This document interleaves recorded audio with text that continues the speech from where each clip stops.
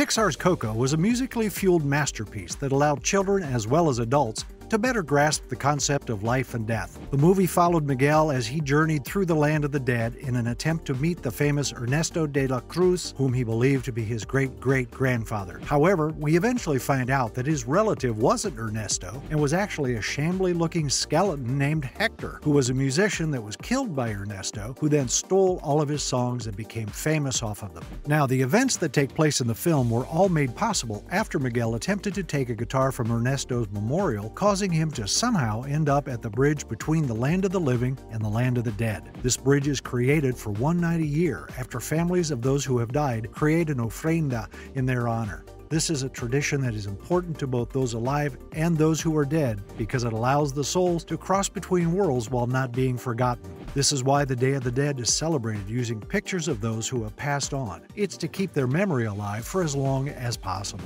Once a soul has been forgotten entirely, they experience what is called the final death. This is essentially when the soul fades away from the land of the dead and finally passes on. The entire reason that Hector agrees to help Miguel in the beginning is actually to avoid his final death because those in the living world have all but forgotten Hector. Therefore, Hector decides to help Miguel if he agrees to place his picture on the ofrenda so that he may return home for the night. The final death, and being forgotten in particular, seems to be something that souls seem to fear a lot in the land of the dead. But what's fascinating about this is there is one subtle detail in the movie that actually shows that all souls in the land of the dead have to experience the final death at some point, regardless of how long their picture is continuously placed on the altar. And that might not be such a bad thing, in fact, some theorize that it might be the best thing for them. When you think about it, Hector isn't going to be around for much longer, as sad as that is. Because what's really curious about the land of the dead is that those who live there only remain there for as long as someone, who is alive, remembers them and sets up an ofrenda to bring them back for the day. In Coco, they explain to those who don't know what ofrenda is that it is a way to remember the dead and a way to honor them. All it takes is for a family member to display a picture of the person who passed somewhere in their home. And if they do, the spirit will return home for one night only and then must return to the land of the dead by sunrise. But if someone in the land of the dead doesn't have their picture displayed, they won't fade away instantly. They will be stuck in the land of the dead up until the very moment that no one who is alive remembers them. Now, the two key words here are family and living. A living family member must place the picture in their house. Another thing to point out here is that they have to remember you as well, meaning that they had to have known you while you were living in order to have remembered you. You can't remember someone you never met, right? So, using this logic, that means that Hector isn't going to be around much longer. Think about it. Most of the film is based on the fact that he wasn't spoken about by the family at all, and even if he was, the only person who actually knew him while he was living was Mama Coco, who sadly passed away at the end of the film. And even though Miguel knows Hector from meeting him in the land of the dead, he did not know him while he was alive. So, regardless if Miguel had a picture to display of him, he will still be forgotten soon and likely fade away shortly after. Some might try to argue that Coco's daughter might still remember Hector, but when you think about it, she never actually met him. And on top of that, as we said before, the family didn't speak about Hector too often, which means that her memories, especially from such a young age, likely didn't hold up at all. This means Coco was most likely the last member of the family who can remember what Hector was like while he was still alive. And as we said, since she too passed over, it won't be long before Hector fades away, just like his pal Chicharron.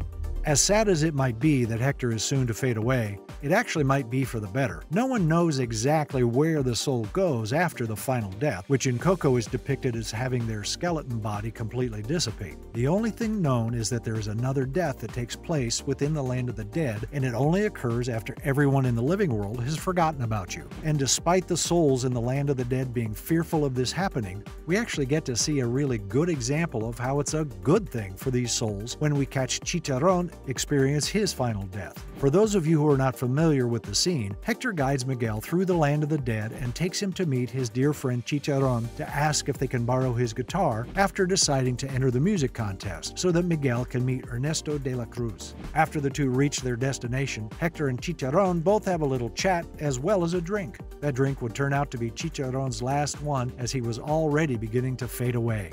After asking Chicharron if they could use his guitar, Chicharron agrees as long as Hector will sing him his favorite song. Hector proceeds to sing a censored version of Everyone Knows Juanita due to the fact that Miguel was present, and as the song ended, so did Chicharron's existence in the land of the dead. He slowly faded away. But what was really thought provoking about this scene was the fact that it seemed like he was almost embracing his final death. It looked like he saw it less like he was fading away and more like he was fading into the next chapter of his story. This kind of makes the land of the dead almost seem like a sort of purgatory, the land in between life and the afterlife. Only in this case, the people stuck in purgatory have learned to roll with it and make it a place worth hanging around in for a while. Another thing that is particularly interesting about the land of the dead is the fact that the world seems to be great for everyone who's there, but even better for those who are famous, and that fame includes evil people too. In fact, it almost seems like the evil people are the ones who benefit the most in the land of the dead. In Coco, the land of the dead is portrayed as a place that everyone can have fun in and everyone in it can enjoy. It seems like, for the most part at least, that everyone is happy and enjoys their existence, and that includes the people who are poor, and even those who didn't have ofrendas placed in their name.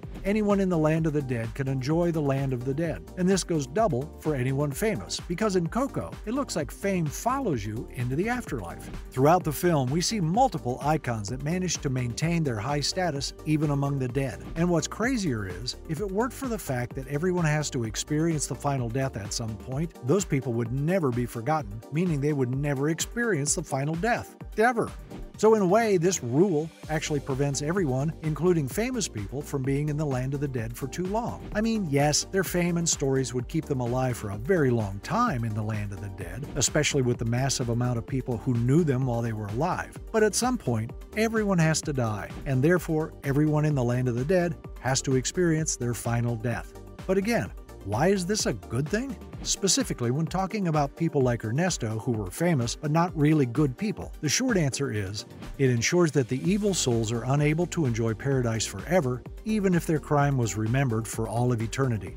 I mean, Take Hitler, for example, and all of the horrible deeds he did while he was alive. If he was never able to experience the final death, his stories, which are written about in textbooks and have been passed down for generations, would allow him to stay in this paradise of sorts forever. And even if you take the opposite of evil and talk about really good souls, like Mother Teresa, for example, the stories of her goodness have also been passed on. But if she were never able to experience the final death, she would never get to have her soul completely rest. She would be trapped in this purgatory type of state forever as well. So, in essence, the final death is nature's way of making sure that souls get where they are meant to go. Sure, if they're famous for good reasons or bad ones, their soul will likely linger longer than most. But at the end of the day, eventually, everyone must pass on, ensuring that the evil souls would be unable to enjoy paradise forever, even if their crime was remembered for all of eternity. And pure souls will get to experience a final rest of sorts. This means that Ernesto will likely be among the land of the living for quite some time. But eventually,